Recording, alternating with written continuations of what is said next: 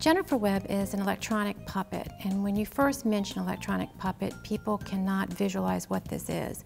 And what the electronic puppet is, is a real-time puppet where there's puppeteers behind the scene that is displayed on a larger-than-life image, like a projection image.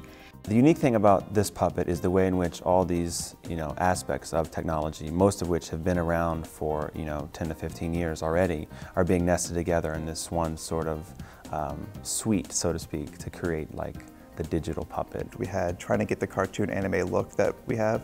We had um, getting everything rigged up to the controls and all the movements looking correctly. And then once we had that all set up, we gave them to the puppeteers. The puppeteers touched the controls, immediately said, hey, this is great, but can we change it to this? Can we change it to that?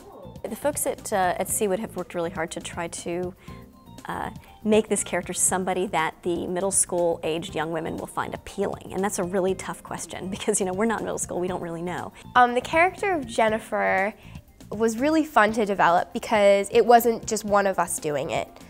Um, first, we had to come up with her voice and, you know, what kind of person she was. She already had a foundation um, you know, how old she was, how many siblings she had. She plays soccer. She does okay in school. I also think that she's a little shy. I mean, she's going to be speaking to a lot of people, so she's slightly nervous about that. And I get nervous talking in front of a lot of people. But all in all, you know, she's a really fun, nice girl, and I think she, she's really fun to be and to, to talk to. Wow, there's a lot of people here.